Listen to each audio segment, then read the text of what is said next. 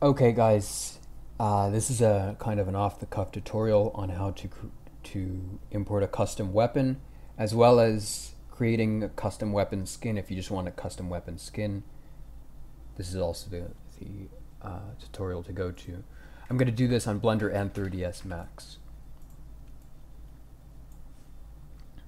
So, first thing to do is import your your own sword, whatever you have dagger. I just found this online for free somewhere. It's not mine.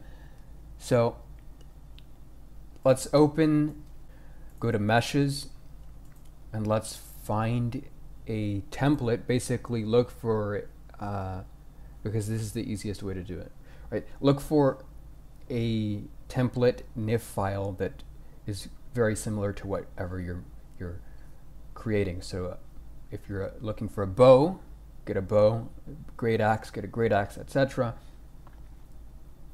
And you can even be even more lazy and choose a NIF file that already has the material. So if you, are looking for a Daedric looking sword, you, you can have, you can, the ebony cube map is already there for you. You can just copy over the textures and it'll have it in there. I'm going to export Dwarven Dagger, right? So then go to Dwarven Dagger here. This is the thing you just exported. Uh, I don't care about the scabbard. You can, if you have a scabbard, of course, don't delete this. Uh, although it doesn't, uh, I don't know that it matters or not.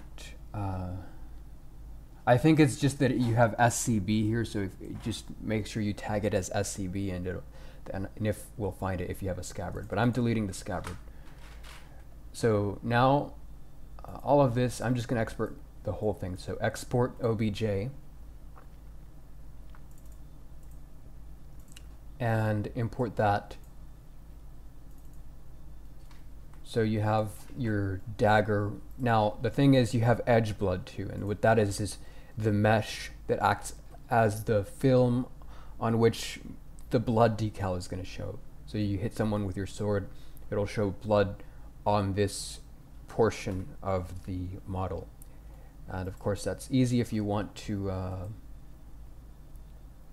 add an edge blood mesh. So you go to edit mode on your mesh, right? And just I'm going to be lazy and just do something to this effect, right?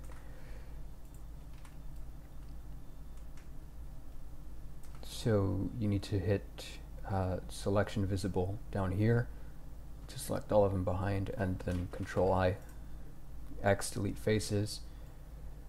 And there you have your, of course you have to duplicate, so shift D and then do it. But that that's when you, that's for your edge blood, it doesn't really matter as far as this. So if you do want edge blood, just have your the the uh, edge mesh ready. And after that, it's just the same thing. You just import the, the mesh and move it over to the particular NiTriShape. It's not that big of a deal. The main thing you want to do is make sure that your mesh is lined up here with uh, this da- the dagger or whatever, particularly the handle. The blade doesn't matter so much because the most awkward thing is if your NPC or character is holding it, but it, the, the, the handle looks weird. So the handle is the main issue.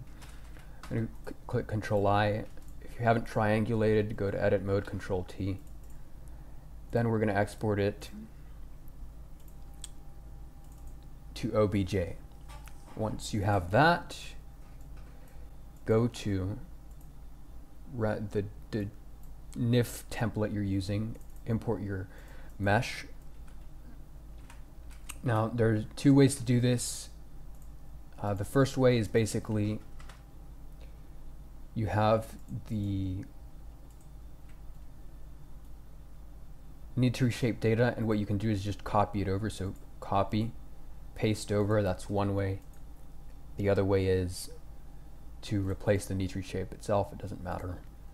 Um, the main thing to look at if you're copying over the, the NiTriShape data is there might be changes to the geometry orientation within the NiTriShape that you have to change. So this is scaled really low, so you have to scale up in this case. But we're just going to move it over. So this is NiTriShape 23. So replace NiTriShape 23 with NiTriShape 28, not NiNode 27. Uh, it's not a difference except for optimization. So if you copy NiNode over, it doesn't matter, but put NiTriShape. So 28, that's our NiTriShape.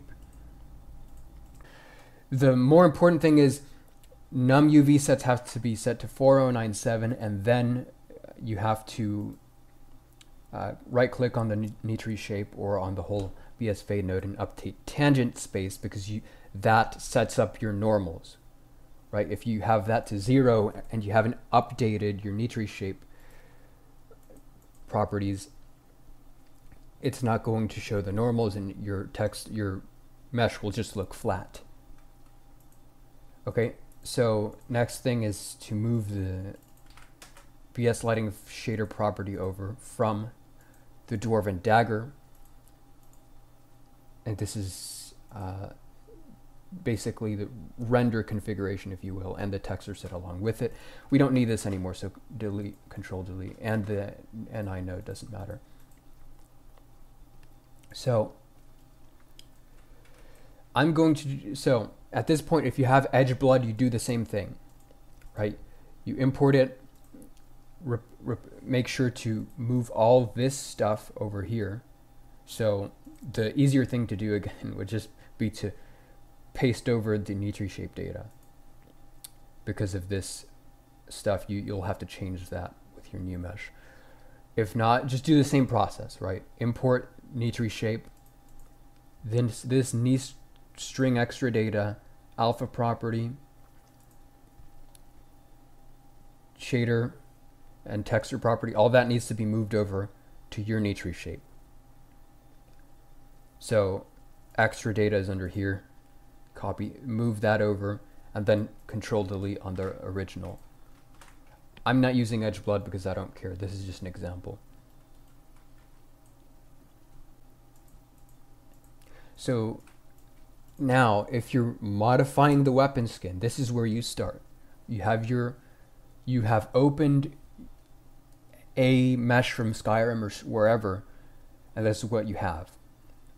So now, now let's go to Photoshop, if you're, I think you have to use Photoshop. I don't know if uh, there's another NVIDIA plugin, but basically the link is in the description, right, to the to the N NVIDIA DDS plugin because you need that to open DDS files. So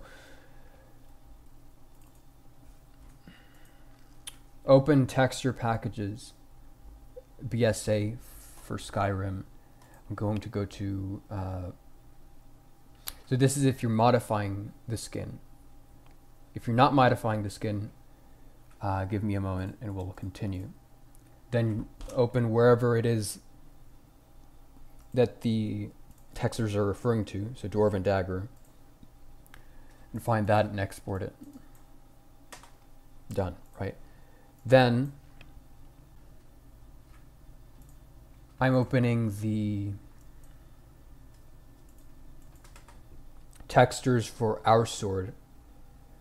If you're opening textures to modify to make a new weapon skin or as a template on which to create a new weapon skin, find the stuff that you exported. It's all there. If you the thing about it is if you're just going to modify the base color, it's still going to have the normal map there. Even if you remove the, the specular, which doesn't change it too much, the normal map is still going to have its patterns, right? So if you don't, if you don't want to bake a normal map, if you're making new weapon skin, you need something like CrazyBump, which I will link to to create a normal map. But if you're creating a weapon skin, here's how you do it. So in render, I have my source, my uh, Skyrim source files linked. So data, textures, and data. I don't remember which one's the right one. Anyway, probably this one. So yeah, that, that's most likely. So if you want to set to basically do, like have a way to quickly modify your texture, save it, and then look at it, that's the way to do it. Uh, because for and we'll, I'll show you in a moment. But so here we are. This is the specular. We're gonna save this.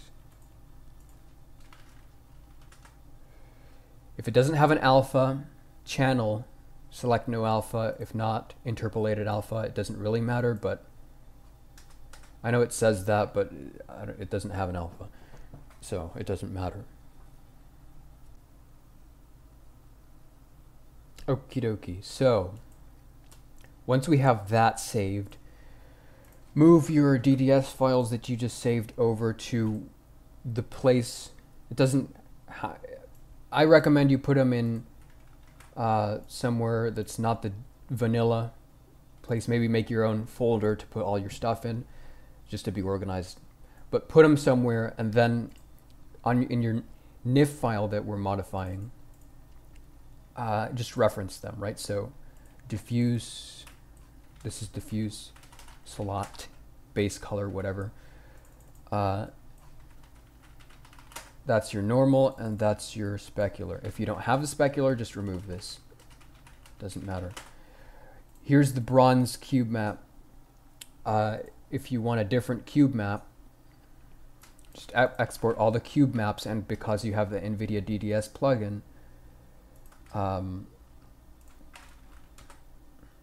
you can go to cube maps and look at all the cube maps and it's basically a film that kind of modifies the tint uh, and, and adds like a reflection based on this property. It, this is kind of a, a tutorial in its own right. So that's all I'm going to say. Anyway, it doesn't matter, but it'll probably look weird without like a more appropriate cube map. So I'm just going to put oil, see how that looks. So this is basically it, right? Um, now, here's the thing. There's also a first person. Ultimately, it doesn't matter if it's just a normal weapon. You can use the same mesh for both. Here's how to do it in, in uh, 3ds Max. It's just really quickly. It's basically the same thing. So let's go to shut the fuck up, shut the fuck up, shut the fuck up. Uh, so let's go to our obj file here. We had Dwarven Dagger. Let's import Dwarven Dagger with all the materials and stuff. Doesn't matter. Random Dagger. That's our that's our mesh. And it's just the same thing, right? So so you have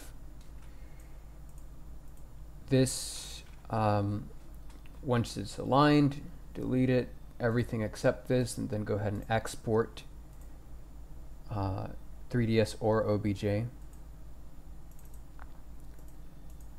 and then just do the same process. The orientation may be different and you might have to change it. The other thing you can do is say if you have the NIF tools um, you can just export of course and go to NetImmerse and export as a NetImmerse and all the stuff will be there. And you can do uh, vertex colors in that case, right? So you, you can preserve vertex colors that way, but there's not much of a difference. Okay, I have Skyrim loaded in Creation Kit, and I'm making a new package. So just select Skyrim in Data and open your package, or make a new one by just selecting Skyrim. And I'm going to Riften World But anyway, So let's put our first person uh, static. So this isn't static. This is static. Uh, first person. Um, AA first.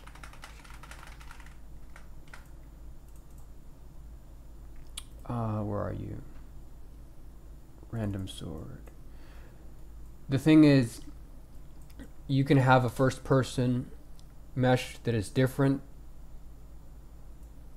Uh, ultimately, it doesn't matter necessarily, but so if you want to distinguish first person view from third person view of the mesh, then you have a different mesh for that. But I'm just, it doesn't matter in this case. So that's your static. Now we have to go to weapon Let's find Dwarven Dagger, right?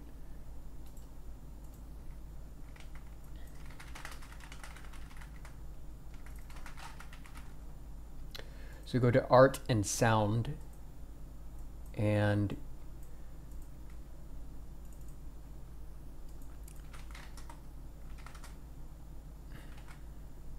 select random sword. So here's our uh, random. It looks kind of oily. It has that weird tint. So that's the cube map working, but I'm not going to change it. Select your first person object 2. Remember to rename it. Press OK. Press, well, so here's all the stuff to configure it. Press OK, yes. And put it in game. So drag it, drop it in game.